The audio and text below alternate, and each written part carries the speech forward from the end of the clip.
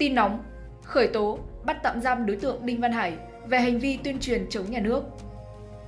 Ngày 7 tháng 10 năm 2021, Cơ quan An ninh điều tra Công an tỉnh Lâm Đồng đã phối hợp với Công an tỉnh Bà Rịa Vũng Tàu thi hành lệnh bắt bị can để tạm giam và lệnh khám xét chỗ ở đối với Đinh Văn Hải, sinh ngày 16 tháng 8 năm 1974, nơi đăng ký hộ khẩu thường trú, thôn Ninh Hòa, xã Ninh Gia, huyện Đức Trọng, tỉnh Lâm Đồng.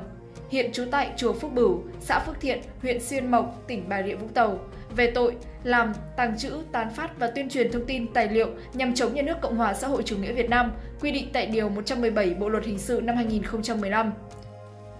Theo thông tin từ cơ quan chức năng, trước đó vào tháng 7 năm 2017, đối tượng Đinh Văn Hải tụ tập nhiều người gây mất trật tự ở nơi công cộng, từng bị công an thành phố Hồ Chí Minh xử phạt vi phạm hành chính. Tuy nhiên, Hải vẫn chứng nào tận ấy, ngoan cố, thậm chí cố tình chống phá nhiều hơn.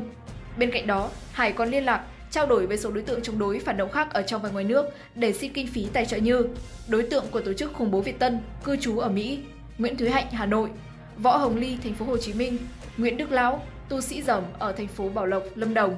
Ngô Thị Thứ thành phố Hồ Chí Minh. Ngoài ra, Hải còn móc nối quan hệ với các cá nhân của tổ chức khủng bố Triều Đại Việt. Tính đến thời điểm bị cơ quan chức năng bắt tạm giam, đối tượng Đinh Văn Hải đã đăng tải nhiều trên trang Facebook cá nhân, 13 video phát trực tiếp và 79 bài đăng. Qua trưng cầu giám định, các cơ quan chức năng kết luận 13 bài phát trực tiếp và 79 bài đăng nêu trên có nội dung đả kích công cuộc xây dựng chủ nghĩa xã hội, xuyên tạc lịch sử, phủ nhận thành tựu cách mạng, sai sự thật, bóp méo tình hình thực tế, xuyên tạc, phỉ báng chính quyền nhân dân, chế độ xã hội chủ nghĩa ở nước ta, đả kích các chủ trương, chính sách của Đảng và Nhà nước trong các lĩnh vực chính trị, kinh tế, xã hội, xúc phạm lãnh tụ Hồ Chí Minh và bôi nhọ lãnh đạo cấp cao của Đảng và Nhà nước. Từ năm 2014 đến năm 2018, sau khi phát hiện các hoạt động phức tạp của Đinh Văn Hải trên không gian mạng, cơ quan chức năng đã nhiều lần triệu tập, giáo dục, gian đe nhưng Hải không từ bỏ tư tưởng, tiếp tục có những hành vi chống đối.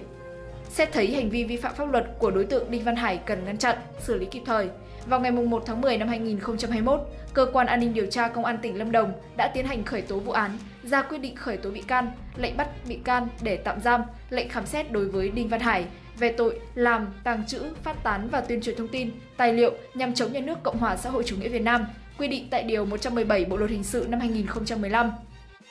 Tất cả các quyết định và lệnh đã được Viện Kiểm sát Nhân dân tỉnh Lâm Đồng phê chuẩn. Vào ngày 7 tháng 10 năm 2021, Cơ quan An ninh điều tra Công an tỉnh Lâm Đồng đã thi hành các quyết định và lệnh nêu trên. Hiện Cơ quan An ninh điều tra Công an tỉnh Lâm Đồng tiếp tục điều tra làm rõ vụ án.